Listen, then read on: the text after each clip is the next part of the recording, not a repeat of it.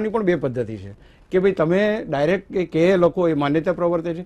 પણ તે વખતે તમારે કાઉન્સિલર રાખીને એને પૂછીને અથવા તો કઈ રીતે કઈ એ કરવી, એ રીતના ડુ યુ ફીલ કે આ પ્રોસેસ ફોલો થઈ છે સૌથી પહેલા તો મારે એવું કેવું છે I have one way look at કે જે કોન્સ્ટેબલ જે પીઆઈ લેવલ પર જાય છે એક્ઝામ્પલ આપું છું તો ઓબ્વિયસલી એની પાસે બહુ એક્સપિરિયન્સ હોય છે કે કેવી રીતે તહેકીકાત થાય પણ એના કરતા વધારે એક્સપિરિયન્સ એ લોકો પાસે એવી હોય છે કે કેવી રીતે લૂપલ્સ છોડો તાકી સામે વાળો બચી જાય. કારણ કે you know all that let us accept that કે ઘણીવાર આપણે પોલીસને એફઆઈઆર લખાઈએ છીએ ત્યારે એ અંદરથી કોઈ ગોળ ગોલ ફેરીને કંઈક થોડું અલગ લાગે છે કે ના ના બેન તમારા ફાયદા માટે લખું છું. કરીને પછી ફાયદો પાછળથી ખબર પડે કે આપણો નથી થતો. એટલે આ એક સત્ય છે. બીજી વાત કે એટલે experience is with them to see to it કે પેલો જે ગુના વાળો છે તે બચી જાય એવો એક્સપિરિયન્સ છે. હવે આપણે આ પર્ટિક્યુલર કેસની વાત કરીએ તો આમાં જે અગર અત્યારે જેટલા સુધી આપણે વાતો કરી છે એટલું થશે તો સાહેબ આમાં કશું થવાનું નથી પેલો છૂટી જવાનો છે. કારણ કે ઘણીવાર પેલું બંધુત્વતા આવી જાય ભાઈ ભાઈ આવી જાય. કારણ કે ચલો સિનિયર્સ ને તો ઈચ્છા છે જ.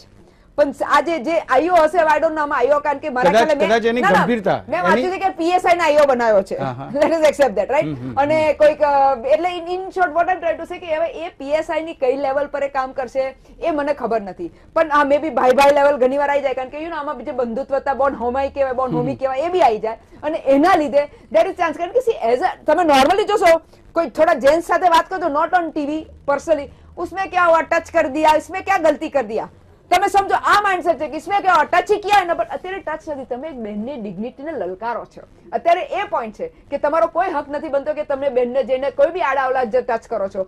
અમે, હું તો કહું છું, ભાઈઓ, આપણે કોઈ બહેનને ભાઈઓને બી એવા ટચ કરવાનો હક નથી બનતો. એટલે અત્યારે ઝઘડો આ પોઈન્ટનો છે. ટચ કરી દે